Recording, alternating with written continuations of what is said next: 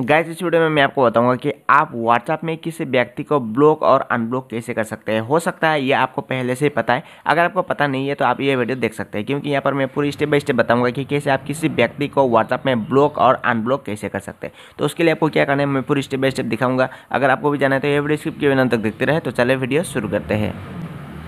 तो friends WhatsApp में किसी व्यक्ति को ब्लॉक करने के लिए आपको क्या करना है? आप जिसको भी ब्लॉक करना चाहते हैं, उसके ऊपर कुछ इस तरह से लॉन्ग प्रेस कर देना है और उसके बाद जैसे आप यहाँ पर क्लिक करेंगे तो आपको यहाँ पर आने वाले दिन में ब्लॉक का ऑप्शन तो देखने को मिल जाएगा, लेकिन अभी ये, अभी यहाँ पर नहीं आ रहा है। तो अभी ब्लॉक करने के लिए आपको सिंपली ये ओपन करना है और ओपन करने के बाद आपको यहाँ पर क्लिक करना है और उसके बाद आपको मोर पर क्लिक करना होगा।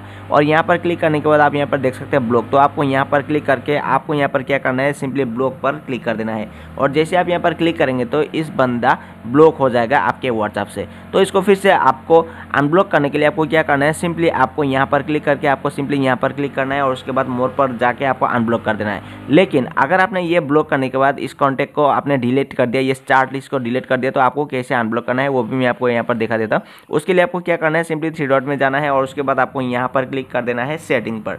और उसके बाद आपको जाना है प्राइवेसी पर और जैसे आप यहाँ पर क्लिक करेंगे तो आपको थोड़ा स्क्रॉल आना है और आप यहाँ पर देख सकते हैं नीचे यहाँ पर ब्लॉक कॉन्टैक्ट तो आपको यहाँ पर क्लिक करना है और जैसे आप यहाँ पर क्लिक करेंगे तो आप यहाँ पर देख सकते हैं ब्लॉक किया हुआ नंबर यहाँ पर आ जाएगा तो आपको यहाँ पर लॉन्ग प्रेस करना है और उसके बाद आप अनब्लॉक पर क्लिक कर देना है या तो आपको यहाँ पर जैसे क्लिक करेंगे तो अनब्लॉक का ऑप्शन आ जाएगा तो जैसे आप यहाँ पर क्लिक करेंगे तो ये अनब्लॉक हो जाएगा तो इस तरह से आप किसी व्यक्ति को ब्लॉक और अनब्लॉक कर सकते हैं तो उम्मीद करता हूँ फ्रेंड्स ये वीडियो आपके लिए हेल्पफुल हुआ अगर वीडियो अच्छा लगा तो लाइक कमेंट और शेयर कीजिए और इसी तरह का हेल्पफुल वीडियो पाने के लिए हमारे चैनल को सब्सक्राइब ज़रूर कीजिएगा तो आज के लिए नए फ्रेंड्स मिलते हैं नेक्स्ट वीडियो में, तब तक के लिए बाय बाय थैंक यू